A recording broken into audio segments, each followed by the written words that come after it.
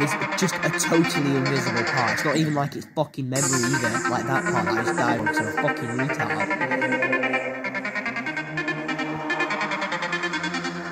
It's just, you, have to kind of, you, you just have to guess. I've no idea how you're supposed to do that consistently. I mean, I get it's an old level and old levels are kind of shit in gameplay and execution. This one though. But it's still annoying. Oh my...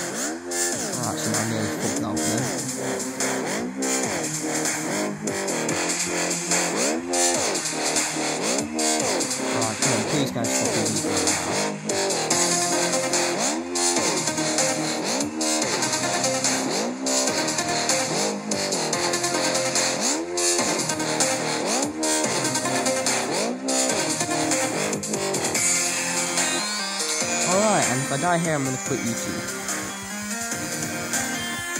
Alright, we didn't die there. I'm not quitting YouTube.